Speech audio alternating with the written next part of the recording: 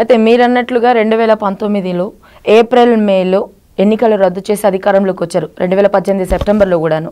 So ఈసారి కూడా అదే బాట పట్టే అవకాశం ఉందంటారా కేసీఆర్? మరి మీరేమంటారు దీన్ని ఒకటండి కేసీఆర్ గారు జాతకాలంటే ఇప్పుడు ఇక ఏదో గాల దీపం పెట్టేసి దేవుడా ఇది పోవద్దు అనే రీతిలో పెడతాడు ఆయన. ఆయన ఏదో ఒకసారి జరుగుతుంది రెండోసారి జరుగుతుంది అని ఉంటుందా? అంటే ఆయన ఆయనకు నిజంగా పెట్టాలని లేదండి. ఎంతసేపటికి నిన్న చూసిండ్రా? మాట్లాడేటప్పుడు ఆయన ఒక లాంగ్వేజ్ చూసిండ్రా మీరు? ఆయన లాంగ్వేజ్ అంటే ఆయనలో భయం. ఆ ఫేస్లో తెలంగాణ తెచ్చినప్పుడున్న కేసీఆర్ కళ మొహంలో లేదు. మీరు ఒకసారి గమనించండి. అంటే మన ఏమంటారు చూడు ఏదైనా ఏదో బ- ఏదో బర్ర అన్నట్టుగా ఈరోజు ఏదో నోరు ఉండాలి నోరు ఉంటే తెలంగాణ ప్రజలకు నేను ఏదో అయిపోతుంది కేసీఆర్ మళ్ళీ బయటకు వచ్చిండని అది మీడియా ముందర మాట్లాడమే తప్ప ప్రజలలోకి వచ్చి మాట్లాడమాను. ప్రజలలోకి రమ్మను. ఉద్యమం చేసిన ఒక ఉద్యమ నాయకుడు కదా? నీకు పోలీసు వాళ్ళు ఎందుకు పక్కన? నీకెందుకు? నువ్వు రా ప్రజలలోకి వచ్చి మా రాజశేఖర రెడ్డి గారు ఉన్నారు.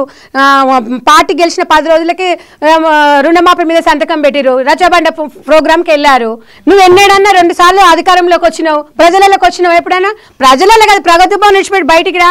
పోలీసు పోలీసులు లేకపోతే బయటికి రా నువ్వు. నువ్వు కానీ నీ బిడ్డ కానీ నీ కొడుకు కానీ నీ మానవాడు కానీ ఎవరు వస్తారయ్యా మీకు అప్పుడు లేని ఆర్భాటాలు. వందల కోట్లు వేల కోట్లు తెలంగాణతో దోసుకొని ఓ మీ ఓ తరతరలో వంద తరాలు తినే అంత సంపాదించుకున్నారు మీ పరిస్థితి ఇట్లా ఉండి మీ ఇంట్లో మీకు అది పడక ఈరోజు తెలంగాణను సర్వనాశనం చేసిరు ఇంకేం చేద్దాం అనుకుంటున్నారు మీరు? ఏదో చేద్దాము ఏదో ఎలగబెడతామంటే తెలంగాణ ప్రజలు ఆగ్రహంతో ఉన్నారు. నువ్వు ఇప్పటికిప్పుడు పెట్ట. నిజంగా నేను చెప్పిన కదా నేను నేను కూడా ఒక తెలంగాణ బిడ్డను. మీరు కూడా తెలంగాణ బిడ్డ అవుతే నిజంగా మీరు అన్నట్టుగా ఏదో అనేసి నా నోరు మూసుకోవడం కాదు.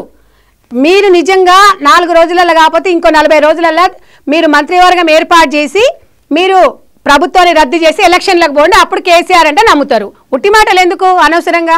అయితే మరి ఇప్పుడు జాతీయ సమావేశాల తర్వాత బీజేపీ అధికారం అంటుంది ధీమా వ్యక్తం చేస్తుంది. మరి దీనికి ఏమంటారు మీరు? మొన్న సభ జరిగిన తర్వాత అమిత్ షా గారు తెప్పించుకున్న రిపోర్ట్ ప్రకారం ఓ ముప్పై ఇప్పటికిప్పుడు మేము ముప్పై వస్తాం అన్నారు వాళ్ళు మళ్ళీ మా సర్వే చేస్తే మాకు ముప్పై ఐదు వస్తాయి అన్నారు టీఆర్ఎస్ చేసి ఇరవై ఐదు అన్నారు. ఎవరెవరు పీకే సర్వే చేసినా బీజేపీ వాళ్ళు సర్వే చేసినా ఎవరు చేసినా మాకైతే ముప్పై ఐదు వస్తాయి.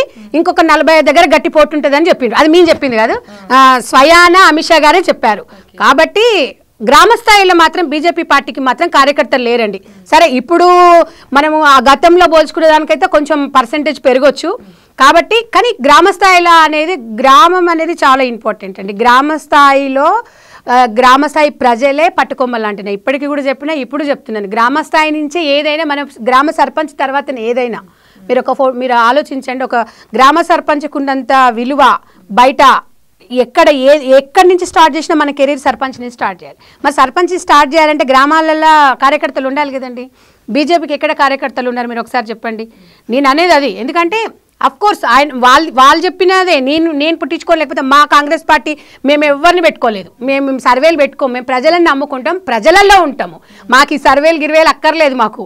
మాకు ఉన్న ప్రజలు ఆ ప్రజల కోసము ఓడినా గెలిచినా ప్రజలలో ఉంటాం ప్రజలకు భరోసా కల్పిస్తాము. ముందడుగులో ఉంటాం తప్ప ఈ సర్వేలు ఏంటండి అంచలేదు ఇంకా సంవత్సరం సంవత్సరంన్నర ఉంది. ఎప్పటి నుంచో కేసీఆర్ గారు కానివ్వండి బీజేపీ ప్రభుత్వమే కానివ్వండి ప్రజలకు ఇచ్చిన హామీలను మీరు నెరవేర్చండి. తర్వాత మీరు ఎలక్షన్లకు వెళ్ళండి. వాట్ ఈజ్ వాట్ అనేది ప్రజలు నిర్ణయించుకుంటారు. కాంగ్రెస్ పార్టీ మమ్మల్ని అడిగితే మేము జ్యోతి అని చెప్తామా అండి? ప్రజలకి వెళ్తే ఎవరు గెలుస్తారు ఎవరు ఓడిపోతారు ఎవరు ఏం చేసింది? బీజేపీ పార్టీ తెలంగాణ రాష్ట్రానికి ఏం చేసింది? మహిళలకి ఏం చేసింది? అనేది వాళ్ళు క్లియర్గా వాళ్ళ బీజేపీ ఎమ్మెల్యేలే చెప్పుకోవాలి. ఎన్ని ఫండ్స్ ఇచ్చిండ్రు ఏమి ఇచ్చిండ్రు ఎక్కడ ఏం వచ్చినాయి అనేది వాళ్ళు కూడా ఒక రోజు ఒకసారి కూడా చెప్పుకోలేదు. వాళ్ళు చెప్పుకోవాలి. మేము చెప్పడం వాళ్ళ వాళ్ళ చరిత్ర మేమెందుకు చెప్తామండి? మా చరిత్ర మాకు ఉంటుంది. మేము ప్రజలే మాకు మీ కాంగ్రెస్ పార్టీకి ప్రజలే పట్టుకోమలంటే వాళ్ళనే నమ్ముతాము. వాళ్ళ కోసమే ఈ కాంగ్రెస్ పార్టీ పనిచేస్తుంది. లీడర్స్ అనేది ఎక్కడి నుంచో కాదు. ఇక్కడ కాంగ్రెస్ పార్టీ నుంచి లీడర్లు అయ్యే బీజేపీలలో పోయిండ్రు. ఇలా కొత్తగా వచ్చింది ఏం లేదు. టీఆర్ఎస్ పార్టీలో మా కాంగ్రెస్ వాళ్ళు ఎవరు? బీజేపీలో మా కాంగ్రెస్ వాళ్ళే ఉన్నారు. ఇంకా మీ వాళ్ళ గురించి మేమే మాట్లాడతాం చెప్పండి?